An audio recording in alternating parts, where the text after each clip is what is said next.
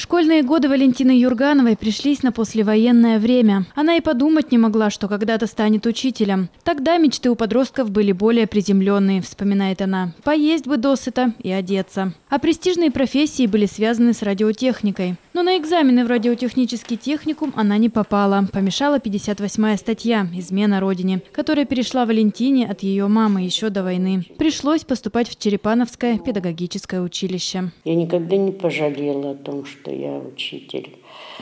Э, я, мы вначале жили в Посиной, и все годы, сколько я работаю, я стараюсь быть похожей на тех учителей, которые нас в посевной учили. Голодно, холодно. Но они были всегда с нами в школу, даже в воскресенье было открыто, можно было пойти. Свою трудовую деятельность Валентина Петровна начала ровно 60 лет назад в Тагучинском районе. Проработав 4 года в деревенской школе, переехала жить в Искитим. В 1962 году пришла работать в пятую школу. Тогда она еще находилась на месте ЦУМа. Там такой был дух творчества, что вот меня зарядили на всю оставшуюся, так сказать, трудовую жизнь. В 70-х Валентина Юрганова заочно получила высшее образование и перешла работать в 11-ю школу, заучем начальных классов. Вместе с ней туда же ушла и Зоя Безукладного, не только коллега, но и подруга Валентины Петровны. За Валентиной Петровной я шла в 11-ю школу по ее приглашению, и своему мастерству все мои заслуги я то же самое считаю, что внесена очень большая доля и ее. Вместе с ней мы внедряли новую методику горецкого обучения чтению, которая до сих пор живет 70 где-то пятого года. В 11 школе Валентина Петровна проработала 10 лет, а затем снова вернулась в пятую. Я даже те 10 лет, когда работала в 11 школе, здесь же друзья мои оставались.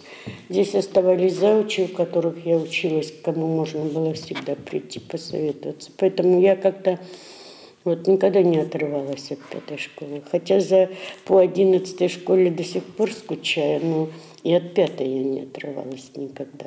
Каждому ребенку Валентина Петровна всегда старалась найти особый подход. Могла построжиться и даже поругать, но никогда не обижала и не унижала своих учеников, старалась заинтересовать учебой. У меня в каждом классе было две пары, как минимум, э, глазок, в которые я всегда на уроки смотрела. Я у одних молча так спрашивала мысленно, «А, понятно, а у, друг, у других спрашивала, интересно ли.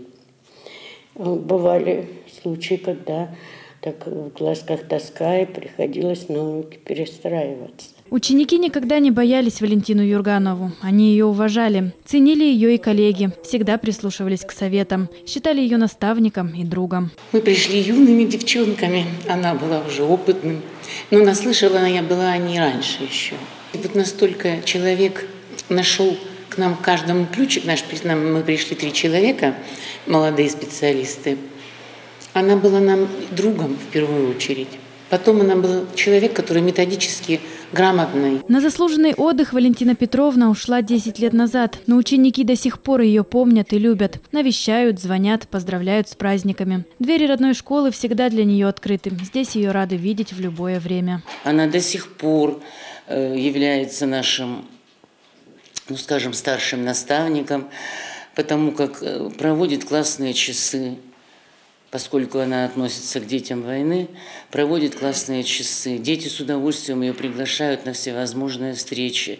Все это организуется в музее или просто в классных кабинетах, где она также рассказывает о своем детстве, о своей жизни. 53 года отдала Валентина Юрганова своему любимому делу – обучению детей. 49 из них проработала в нашем городе. За это время десятки поколений юных эскетимцев научились грамоте с ее помощью. А главное, она научила их требовать требовательно относиться к себе самим и в любой ситуации оставаться настоящими людьми.